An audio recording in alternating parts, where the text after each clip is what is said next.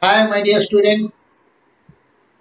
This is Yarlagadda, your English faculty, a word expert, and a multiple world records holder. Welcome to the program Recreational English. It is also called Attractive English or Fun with Words. It is the first of its kind in the world. Okay, students, now you are going to enjoy the episode number 5. It is called Funny Group Names or Funny Collective Nouns. Before going to the topic directly, here is an advice to the students. You must know the definition of a collective noun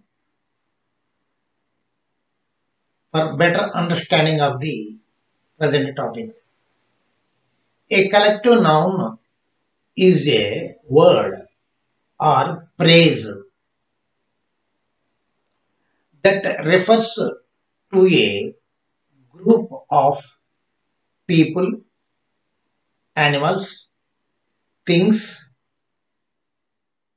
etc.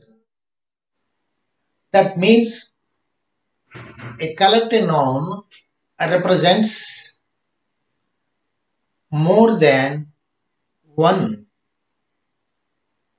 person, animal, bird, or thing in a class. The present topic, funny collective nouns, is most useful to the students who are preparing for competitive exams. Okay. Okay, students. Now you are watching a stanza on the screen. The title is Storytelling. Really, this stanza tells us a small story about a boy and his grandfather. One day, a boy with his grandfather went out for sightseeing in Delhi. On the way, the boy asked his grandfather to enjoy four things. First, he asked her to enjoy the colorful flower bouquets in a truck. And second thing,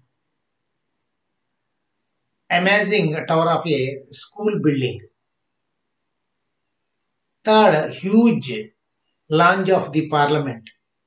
The fourth one is the busy life of present generation. This is the story. Really, there is no fun at all in the story. But the fun is in the words used in the stanza. There are 15 words in the stanza, including title. The 15 words are used in two different ways. One is funny way and another is P-U-N-N-Y, punny way. The total stanza gives us two meanings. One is directly and another one is indirectly. Direct meaning is a simple story that you have listened to now. The indirect meaning is the total words are nothing but collective nouns of various animals and flowers. Listen carefully.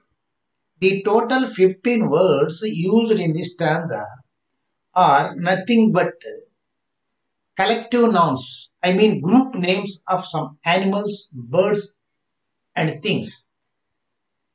So, that stanza can be read or understood in two ways. One is indirect a story, and another one is all words are funny names of collective nouns of animals. Okay, that is the fun. For example, parliament means a group of owls. School means group of fish. Parcel means group of penguins. Lounge means group of lizards. Like that, the remaining words have funny group names. A chart is herewith attached for better understanding with meanings of the total 15 words. In addition to that, two charts are also attached with funny collective nouns. Okay, students, this is the topic of this week.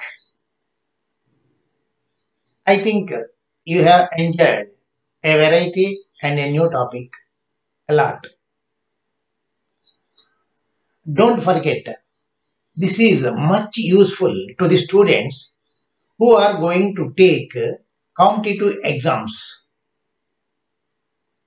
Further, the students can improve their creativity power by writing this kind of stanzas by making use the words furnished on the charts enclosed.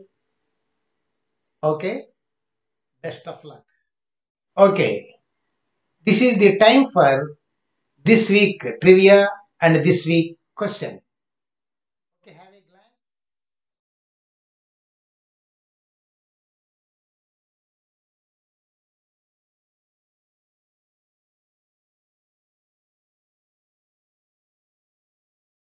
Okay, students, let us say goodbye to the present topic. See you in the next episode with a variety topic, which is the first of its kind in the world. Till then, enjoy the wonders of the words and the beauty of the sentences. Bye.